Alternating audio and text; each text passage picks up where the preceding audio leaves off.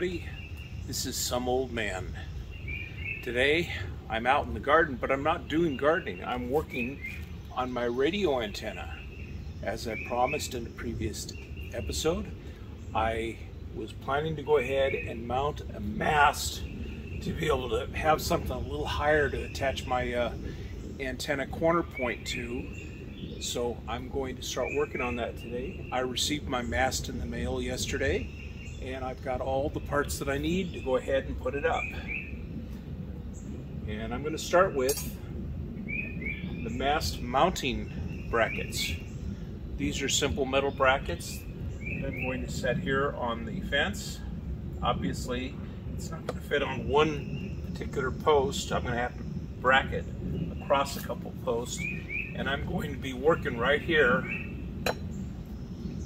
so that I'm on this crossbar and here at the post. So I've actually got a fairly strong place to mount it. So I'm going to go ahead and just...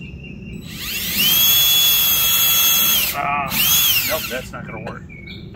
Too close to the edge. Just going to go ahead and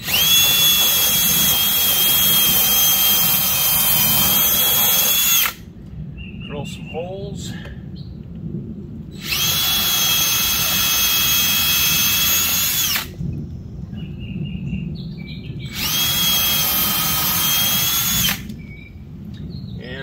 put another one up here at the top.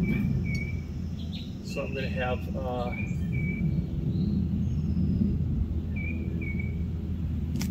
brackets at the top, two points.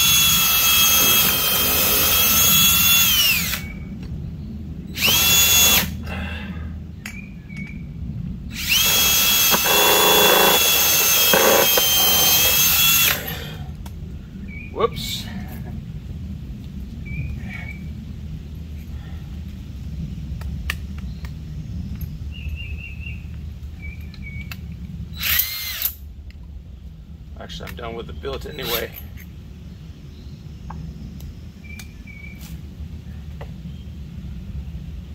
Very good. And I have, of course, the screws that go into this thing. Let's go ahead and hand tighten just to get it in position. And the same on this one.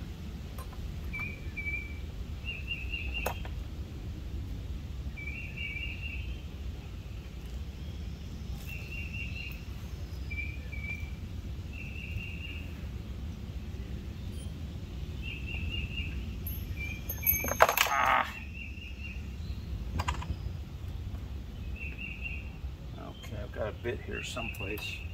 Hopefully I can find it. But I've got the screwdriver bit, which is the part I need right now.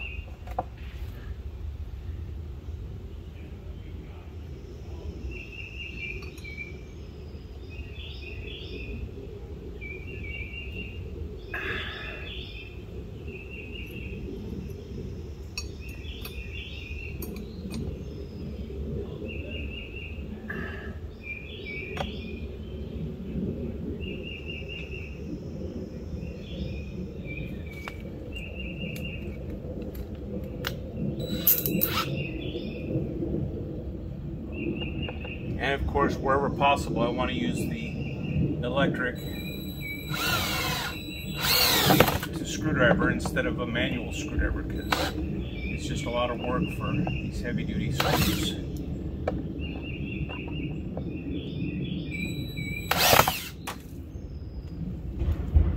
Yeah, not the best bit in the world, but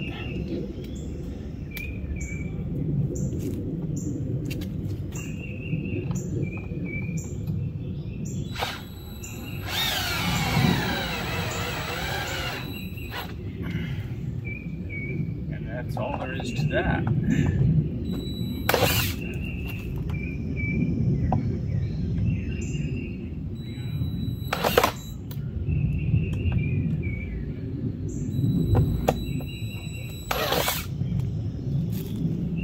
I may have to come back out here with a manual screwdriver to get the rest of it because unfortunately the bit that I chose out was uh, not the best for this type of work.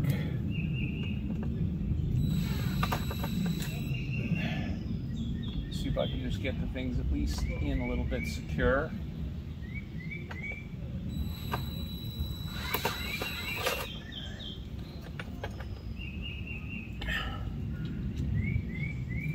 And what I actually am going to do is once I get both of these in tight, I'll bring the mast out, which I've got to open up yet, mount it up here, and then there's another piece that actually fits over the top of it and clamps the clamps the pole, metal pole, into position, and it'll clamp down and it'll hold it up and in so that it doesn't go anywhere. And I can see just looking up that I've still got to get in here with a saw and a ladder so I can reach it and clean up some more of the branches up there. And I'll probably have to periodically do so because the stuff does grow somewhat. So let me just finish this up.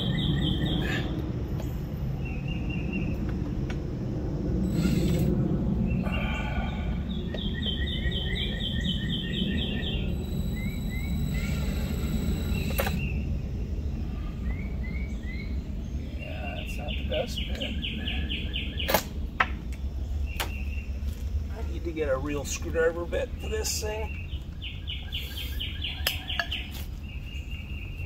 Unfortunately, I couldn't find a flat one, so I'm making do with what I've got. I wonder if I could put this directly in. It's kind of short, but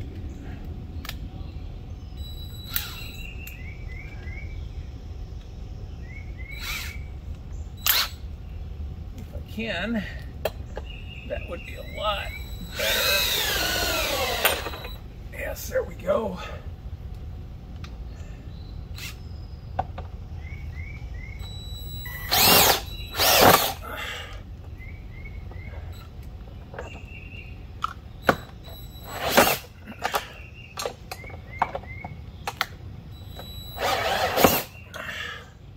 Okay, one down, one to go.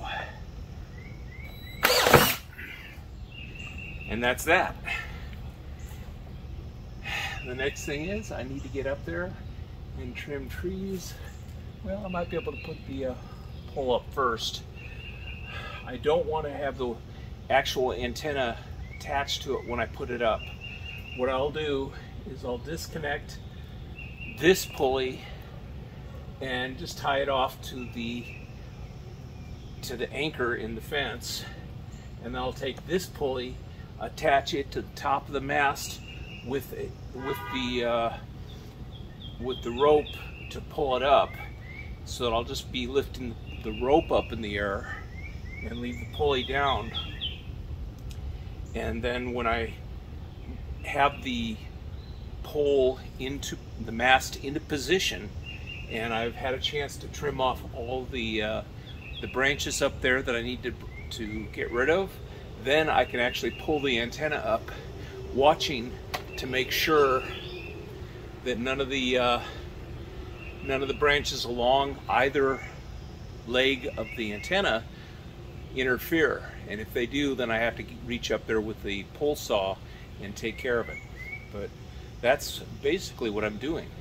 I'm going to go ahead and stop the camera right now and wait until I actually get out here with the with the antenna and let you watch how that goes. Some old man, on to the next thing.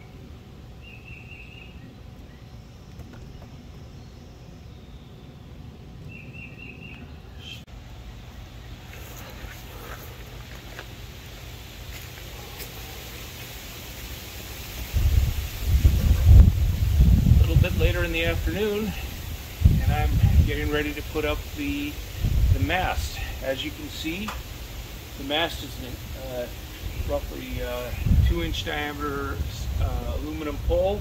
It's a telescoping pole. It has three sections, so it'll go up the total height of about 25 feet. And right now it's all collapsed. I'm getting ready to go ahead and prune back some branches that I can see are going to be in the way. So I'll get that done and then we'll go ahead and see if I can't hook up the antenna and raise the mast all in one go. So I'm on to work.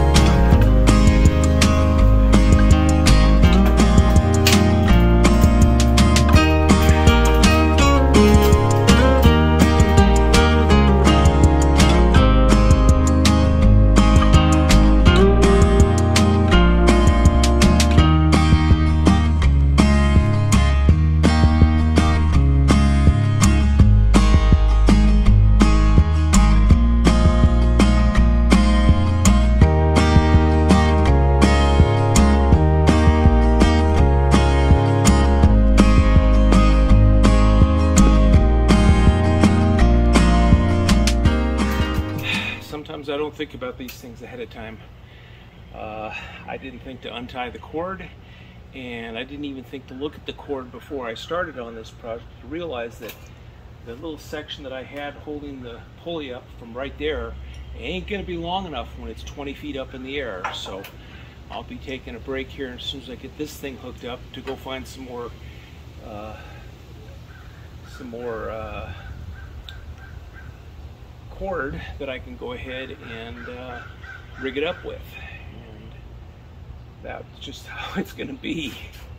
Not a big deal, just whoop, I better put this back so I can actually reach my project.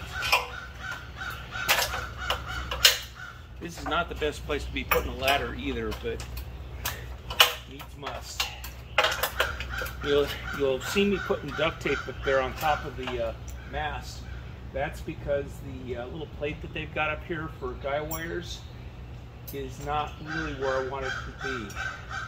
The restraining clamp, oh hell, they're really just making it hard on me. The, uh, the holes in it are just too small. So this big uh, hook here is not large enough, or it's too large to go through the little holes. So I need to go find smaller one which I've gotten plenty. I just have to grab an appropriate size. Ah. But we'll get there. I still have to pull down a whole bunch of branches, but I can't really tell which ones until I get the mast up. So we'll just go ahead, put this on when I get the appropriate piece, raise it up and see what needs to be knocked down. And this is before I actually hook the antenna up. We'll get the mast up and then we'll do the antenna.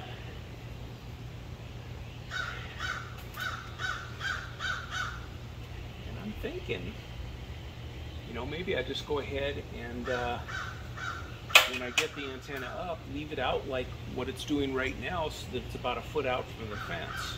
That would avoid some of the worst of the, uh, the brush, at least on this side. Might have to do some additional trimming up next to my tree in the uh, garden, but that's something else. Let me go back right now and get the other piece I need.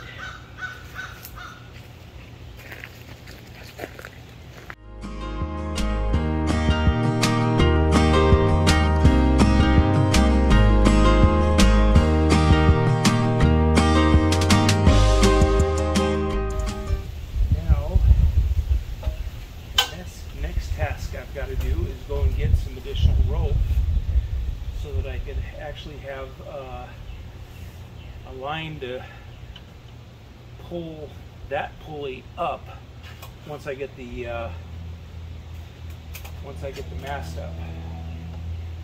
I know it seems like a long involved process and it is in a way but just take it methodically and do one step at a time and it'll be done in just a short while.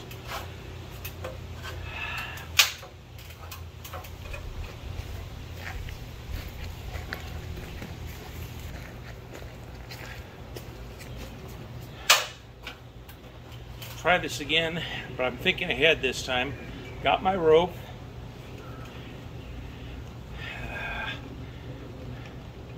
I got my pocket knife here someplace so I can cut the darn thing after I get it to length. And I got a lighter to burn the end of this nylon, which is something you don't want to do because it will unravel if you don't. And nylon rope, polypropylene, this kind of stuff does have a limited life in the sunlight. It will deteriorate over a few years. Not as bad as PVC, but it will deteriorate. That's why I used black originally, but this is a thicker line so it'll last okay. Unfortunately, I didn't have another spool of the uh, of that particular cord, which would have been nice. Or at least I didn't have it where I could find it easily this one here, I knew where it was. So let me go ahead and get this threaded through here if I can.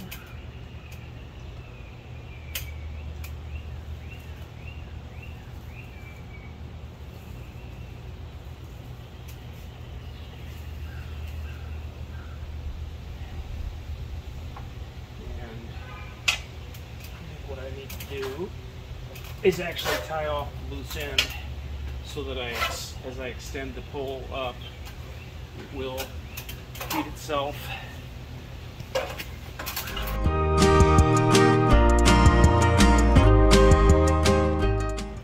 go. Now to send it up.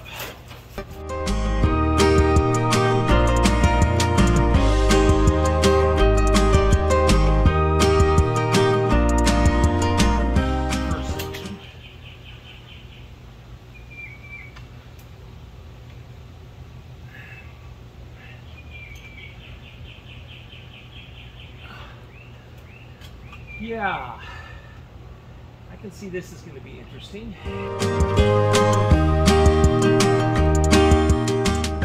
What I took off of the pole is a big cotter pin that actually will hold the top section up once I get it extended. I got another nine feet or so before that's ready to go. Whoops, there goes my cotter pin, so I gotta go pick that up before I can extend the section. Otherwise it'll just come back down.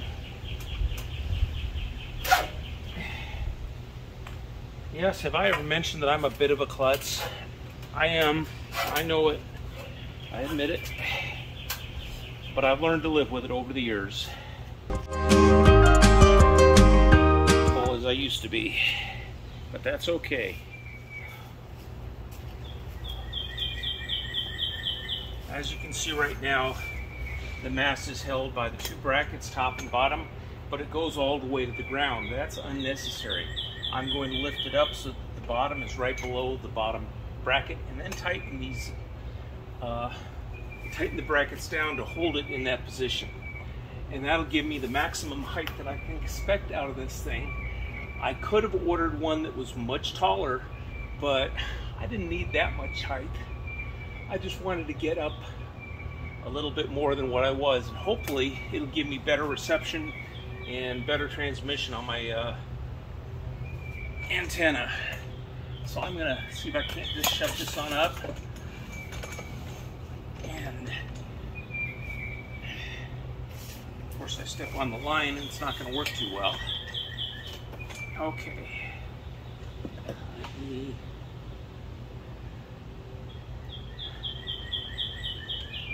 stuff down. Hopefully.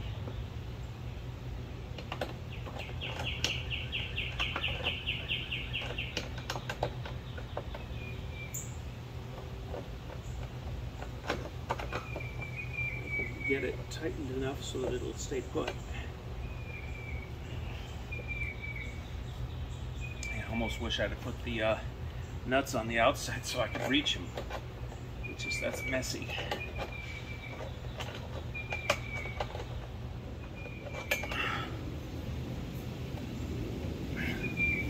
I think that's going to hold it for now.